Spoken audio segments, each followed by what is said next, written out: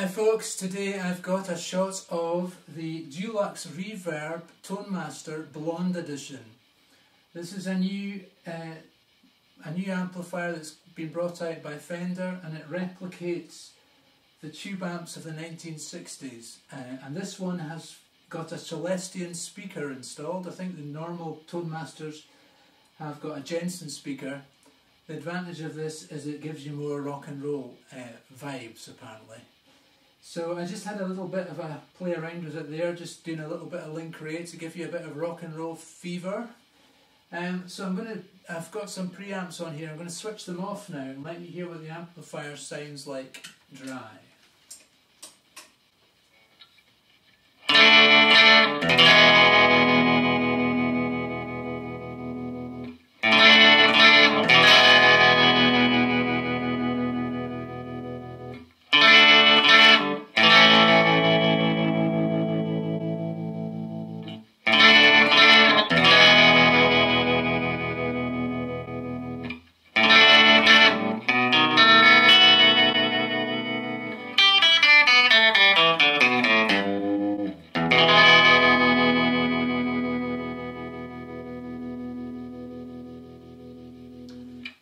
About you, but I think that sounds pretty good, folks. Uh, that is a lovely rock and roll tone. That is on the vibrato channel. Uh, I haven't got any reverb on here. Let's put some reverb on.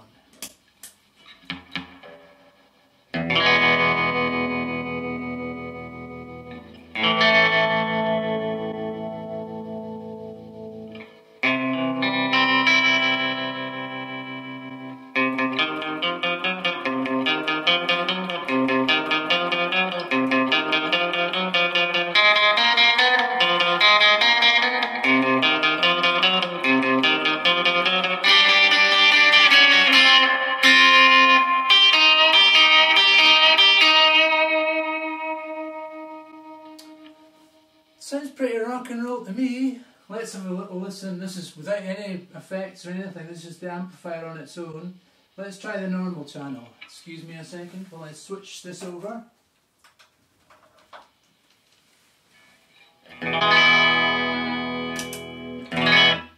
So it doesn't have any reverb or uh, vibrato. All you've got on the normal channel is volume, treble and bass, so it's quite basic.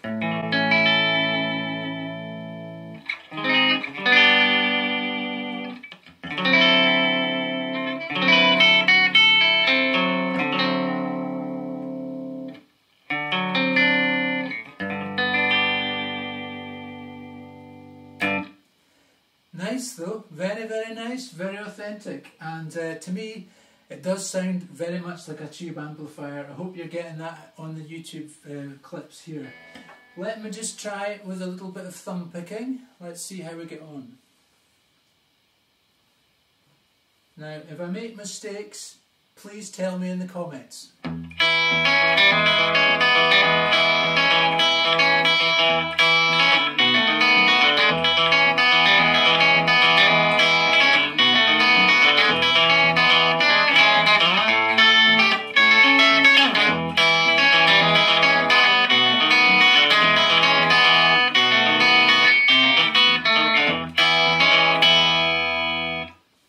Did you notice the mistake there? Especially it was included uh, just to make sure there was something to write in the comments. So please write the comments below and point that out to me.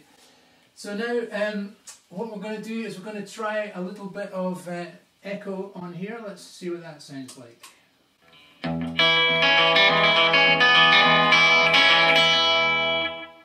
That sounds pretty 50s to me. That's proper rock and roll that is.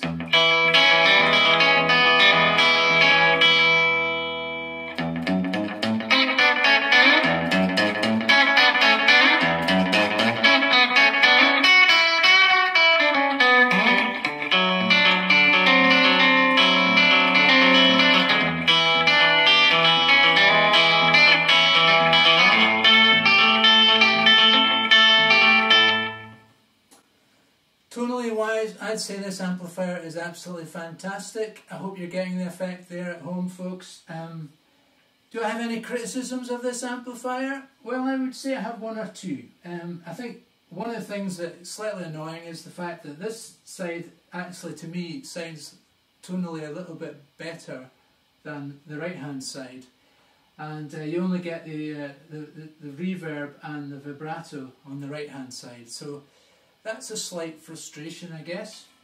Um, in terms of the foot pedal, now to me when I'm playing live because I'm not very good I like to use a foot pedal to give myself a little boost when I'm doing a solo and the foot pedal has got reverb and it's got uh, vibrato options to switch on and off.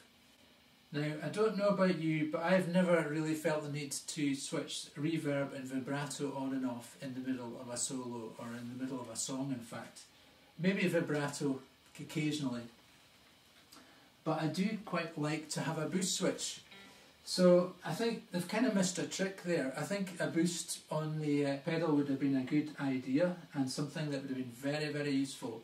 It's probably unlikely that I'll ever take that pedal out now because uh, I d- I don't think I would really use it and the less things you've got at your feet when you're playing live the better in my opinion.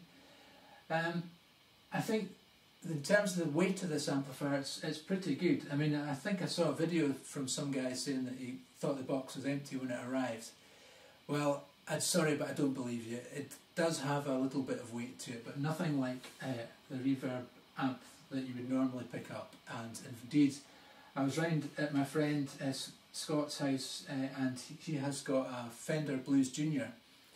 And he thought that was pretty light but this is considerably lighter than a Blues Junior. So uh, as you know if you're playing live you've invariably find it very difficult to get parked anywhere near the venue because everyone's got there to get a table or whatever and uh, you're left there lugging your stuff for miles quite often. So having a light amplifier is certainly a good thing Another great thing that I like about this amplifier is it actually comes uh, with a cover. So again, if you're if you're moving your stuff uh, into a gig, having a cover is a great thing because uh, certainly in Scotland where we are, uh, it rains quite a lot uh, and uh, your amp gets a bit wet if you don't have a cover on it. But other than that, I would say a pretty good amplifier. it's not the cheapest thing on the market. I think it's about eight hundred and fifty pounds.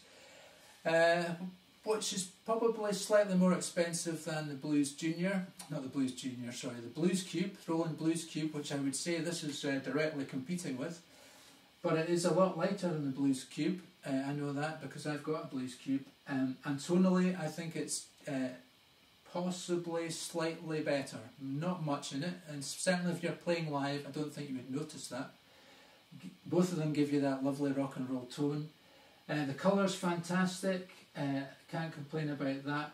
And I think the styling of this amplifier is rather beautiful and really interesting. And when you're playing, it's what it looks like often as much as what it sounds like that's important. So um, 10 out of 10, but of course this is uh, this is uh, classic styling that's been replicated.